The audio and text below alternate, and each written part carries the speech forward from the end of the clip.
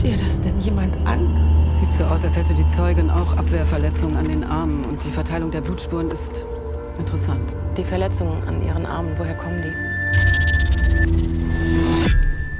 Frau Weber? Dürfen wir reinkommen? Ich habe gespürt, dass was passiert ist. Das haben Sie schon gesagt, ich weiß. Es ist nur manchmal passieren da Dinge. Ja, genau deshalb bin ich hier. Es ist etwas passiert. Meine Damen und Herren, schießt sofort und gezielt. Ich rede von einem Park voller krimineller Ausländer.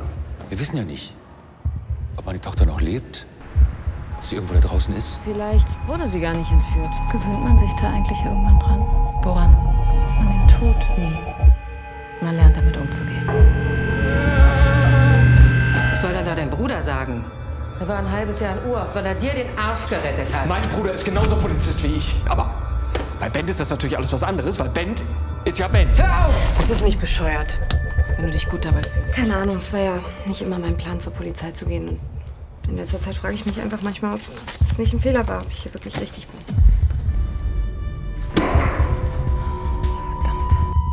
Er ist heute Morgen gegen sieben mit einer Waffe in einen Bus gestiegen. Woher hat er denn eine Waffe? Ich weiß es nicht. Genauso wenig wie er weiß, was er damit gemacht hat. Er hat nur gesagt, dass jemand seine Frau töten will.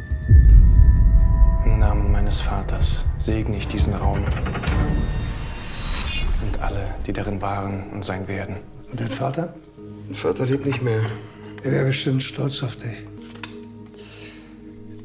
Ich weiß es nicht.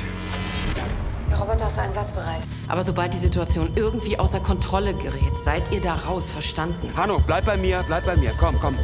Er macht seinen Job, wir machen unseren. Aussteigen! Da, wo ich sie sehen kann! Mich doch alle mal am Arsch lecken. Jan? Jan? Ich bin Jesus! Sie hat getan, als würde sie mich nicht kennen. Ich weiß, was ich gesehen habe. Wo ist meine Frau? Waffe weg! Die Waffe weg! Sie hat Mama angegriffen.